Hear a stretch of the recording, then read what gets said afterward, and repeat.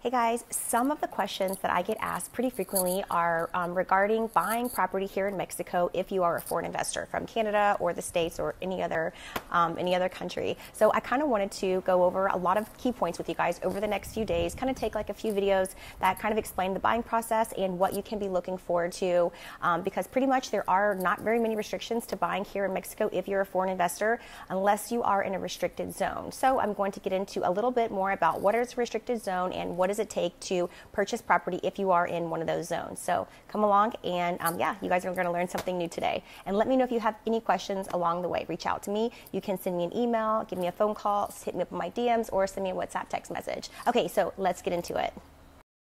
Okay, so one of the things that you're going to run into if you're purchasing property here in Vallarta, if you are within um, 31 miles or about 50 kilometers from the coastline, is you will purchase your property in a bank trust. The bank trust is called a fideicomiso. These are 50 year renewable trusts where the bank is the trustee, you are the grantor of the trust. So that means that you can purchase the property in your own name, um, you can sell the property at any time, you completely handle the management of the property. The bank only only acts as a trustee.